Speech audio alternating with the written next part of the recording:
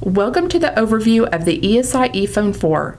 The ESI ePhone 4 has a high definition handset and a state of the art speakerphone. The 4 inch graphical display shows date and time, your name and extension number, when you are not on a call, and when you are on a call, it shows caller ID and various states of the call. Toward the bottom of the display are two icons. The left icon states how many new voicemails you have, and the right icon states how many missed calls you have in your call history. The left and right of the screen are programmable feature keys.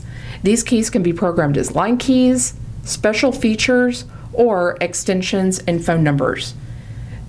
Each screen has 12 keys and there are three screens. Therefore, you have a total of 36 feature keys on the ESI ePhone 4.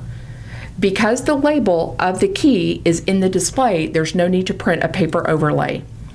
At the bottom of the screen, we show various soft keys to enable you to move through the screens or make specific selections when on or off a call.